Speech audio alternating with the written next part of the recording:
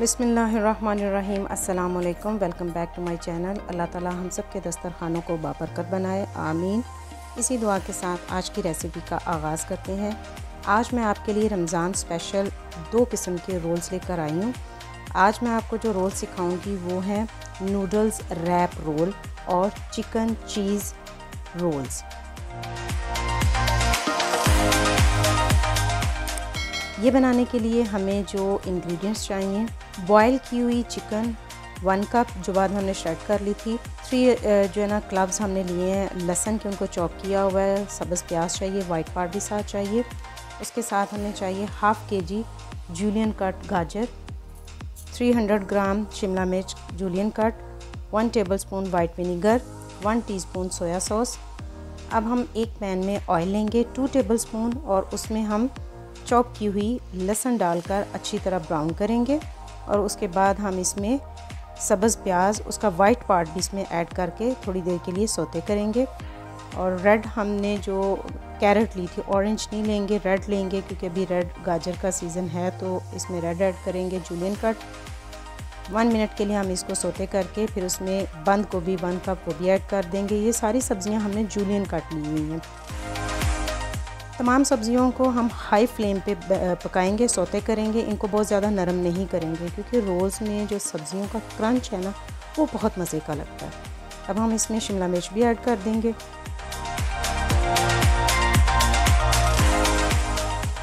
और इसको एक से दो मिनट तक पकाएँगे। फ्लेम हमारा हाई होना चाहिए लो बिल्कुल नहीं करेंगे, वरना सब्ज़ियाँ पानी छोड़ देंगी। वन टीस्पून हमने जो सोया सॉस इसमें ऐड की है और one tablespoon white vinegar, यानी सफ़ेद सिरका अब तमाम सब्ज़ियों को अच्छी तरह हम मिक्स कर लेंगे। इसको थोड़ा सा स्पाइसी जो है ना, वो टेस्ट देने के लिए वन टेबल स्पून हम इसमें ऐड कर देंगे चिली फ्लैक्स वन टीस्पून हम इसमें चीनी ऐड कर देंगे, जो इसके फ्लेवर को बहुत जो है ना, मज़ेदार जो है ना, वो बाइंडिंग सी देगी। उसके बाद हमने श्रेड की हुई बॉयल चिकन ऐड कर दी। इन तमाम सब्ज़ियों को हम एक से दो मिनट के लिए हाई फ्लेम पे पकाएँगे। नमक और काली मिर्च भी ऐड कर दी थी। आप अपने टेस्ट के अकॉर्डिंग मसाले कम या ज़्यादा कर सकते हैं। अब हमने स्टफिंग जो रेडी कर ली है, अब फ्लेम ऑफ़ कर देंगे और उसके बाद थोड़ा सा हमने जो सब्ज़ प्याज बचा लिया था, वो भी ऐड कर देंगे ताकि इसका क्रंच और इसका जो कलर है, वो इसको खूबसूरत से लुक दे। अब हमने स्टफिंग को ठंडा कर लिया और टू पार्ट्स में डिवाइड कर लिया। वन पार्ट में हमने three tablespoon mayonnaise add कर दी है। ये हम चीज़ रोल्स के लिए यूज़ करेंगे। अब हमने यहाँ पे रोल पट्टी ली है। मैंने बाज़ार की यूज़ की आप होममेड भी यूज़ कर सकते हैं। वन से टू टेबल स्पून हम इसमें जो है ना स्टफिंग हमने रेडी की थी, वो ऐड करेंगे। उसके साथ मोजरेला चीज़ का एक स्लाइस लेंगे। बॉयल किए हुए नूडल्स जो मैंने वन टेबल स्पून नमक और वन टेबल स्पून ऑयल डालकर बॉयल कर लिए थे, वो अब ऐड करेंगे। मैदे और पानी की मैंने एक स्लरी बना ली थी ताकि इसको अच्छी तरह बाइंड करे, हमारे रोल खुले नहीं। चारों तरफ़ ये लगाने के बाद हम इसको रोल करेंगे।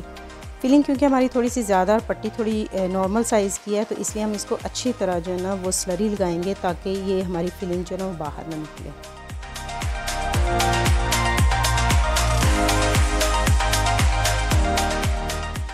अगर कोई कोना खुला रह भी जाए तो आप इसको स्लरी लगा के फिर से बाइंड कर दें। अब हमने जो है नूडल्स, चार से पाँच नूडल्स लेंगे और इसको रोल के ऊपर इस तरह, अच्छी तरह रैप कर देंगे। क्योंकि हमारी मैदे की स्लरी ऑलरेडी इस पर लगी हुई है, इसलिए वो वहाँ पे स्टक हो जाएँगे। ये देखिए, हमारे सारे जो है ना, वो नूडल्स रैप रोल रेडी हैं। आप इसको फ्रीज़ करें, पूरा रमज़ान इंजॉय करें। ताप में ये जो है ना, हमारे दस्तरखान की शान बढ़ा देंगे। बहुत टेस्टी लगते हैं। अब हम एक पैन में ऑयल लेंगे, उसको लाइट सा गर्म करेंगे, बहुत ज़्यादा गर्म नहीं करेंगे और हम इसमें अपने रोल्स फ्राई करेंगे।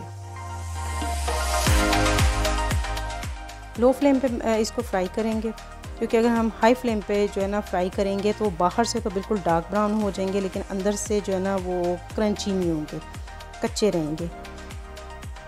इस तरह हम थोड़ी थोड़ी देर बाद इनको पलटते रहेंगे। और अच्छे तरीके से सारे रोल जो है ना फ्राई कर लेंगे। हमें ज़्यादा से ज़्यादा दो से तीन मिनट लगेंगे इसको फ्राई करने में। लो से मीडियम फ्लेम के ऊपर, हाई फ्लेम के ऊपर नहीं। अब हम इसको प्लेट में निकाल लेंगे।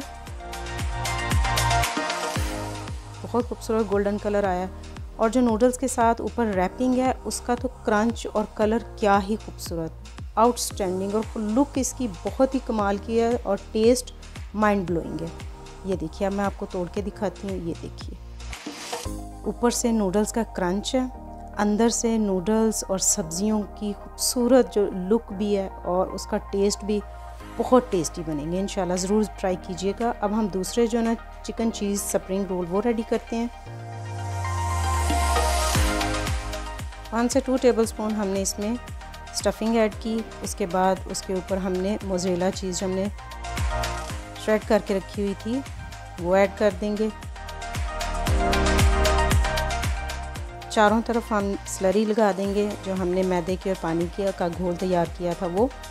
दोनों तरफ़ से कोने पकड़ के इस तरह हम इसको रैप करते जाएँगे और सारे रोल इसी मेथड से हम रोल बना लेंगे इसको। ये देखिए, सारे रोल हमारे रेडी हैं, आप इनको फ्रीज़ भी कर सकते हैं। पूरा रमज़ान इंजॉय करें। अब यहाँ पे मैंने एक से दो जो है ना वो रोल इस तरह के भी फ्राई करने के लिए आपको दिखाने के लिए इसमें ऐड किए हैं कि अगर उनकी साइड्स थोड़ी ओपन रह भी जाएँ तो फीलिंग हमारी बाहर नहीं निकलेगी। क्योंकि हमने जो मैदे और पानी की स्लरी बना के जो घोल लगाया था चारों तरफ़ इसके पट्टी के रोल पट्टी के तो इस वजह से इसकी बाइंडिंग इतनी अच्छी तरह हो, गई है कि इसके कॉर्नर अगर थोड़े से ओपन भी रह जाएँ तो हमारी फीलिंग बिल्कुल भी बाहर नहीं निकलेगी। ये देखिए। ज़बरदस्त, मज़ेदार चिकन चीज़ स्प्रिंग रोल तैयार है। बच्चे तो ये रोल बहुत ही शौक से खाते हैं, ज़रूर बनाइएगा।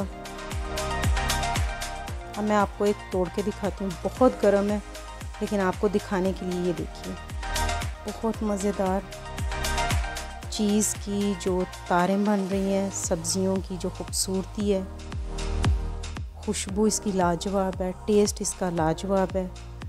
माशाल्लाह।